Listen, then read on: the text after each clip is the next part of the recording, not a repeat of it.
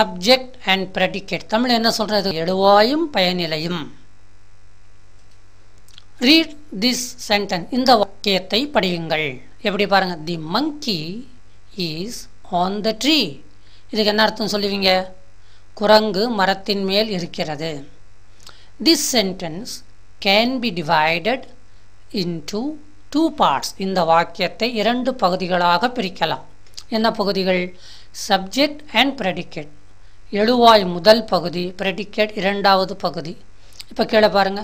Subject the monkey predicate is on the tree எப்படி பிரிச்சிருக்கிறாங்க பாருங்கள் எழுவாயை தனியாக்கிட்டு மீதி எல்லாம் மொத்தமாக போட்டோம் பாருங்கள் ப்ரெடிகேட்டில் subject the monkey predicate is on the tree in subject we are talking about the monkey இப்போ எழுவாயில் சப்ஜெக்டில் என்ன சொல்கிறோம் குரங்கை பற்றி பேசுகிறோம் வி நேம் இட் அதற்கு பெயர் கொடுக்குறோம்.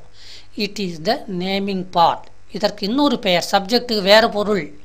நேமிங் பார்ட்னு சொல்கிறோம் monkey is what is spoken about monkey என்பதை பற்றித்தான் இந்த வாக்கியத்தில் பேசப்படுகிறது. அப்போது எதை பற்றி எந்த ஒன்றை பற்றி நாம் வாக்கியத்தில் பேசுவோமோ அந்த ஒன்று தான் subject naming part so the word monkey is the subject ஆகையினால் மங்கி என்ற வார்த்தை எழுவாயாகும். தி செகண்ட் பார்ட் இரண்டாவது பகுதி பிராக்கெட்டில் ரெண்டுன்னு கொடுத்துருக்கணும். Tells a something about the subject அதாவது இரண்டாவது பகுதி ப்ரெடிகேட்னு சொன்னோம் இல்லையா? அதில் சப்ஜெக்ட் செய்கிற காரியத்தை குறிப்பிடுகிறோம். That is where the monkey is அதாவது குரங்கு எங்கே இருக்கிறது என்பதை தெளிவாக சொல்லியிருக்கிறோம்.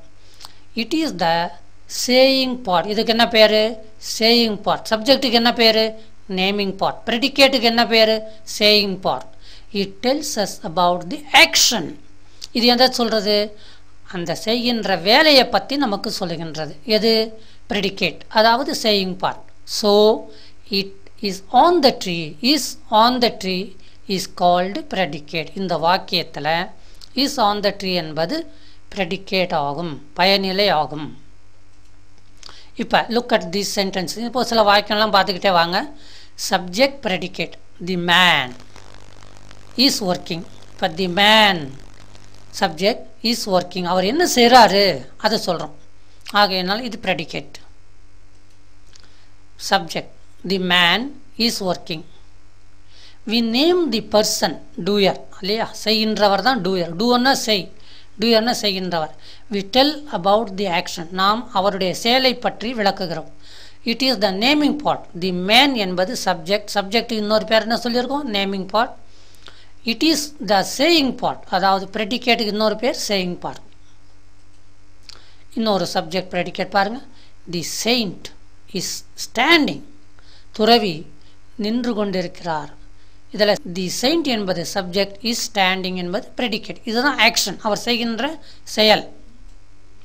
Look at the subject predicate the saint we name the person doer it is the naming part அடுத்து பாருங்கள் we tell what the saint's துறவி என்ன செய்கிறார் என்பதை நாம் இதில் சொல்லுகிறோம். ப்ரெடிகேட்டில் சொல்லுகிறோம். It is the saying part thus இவ்வாறாக the subject tells about the doer or the spoken about அதாவது செய்கின்றவர் அல்லது யாரை பற்றி நாம் பேசுகிறோமோ அவர்தான் subject the predicate tells what the subject does or what the subject is predicate என்பது எதை சொல்லுகிறது?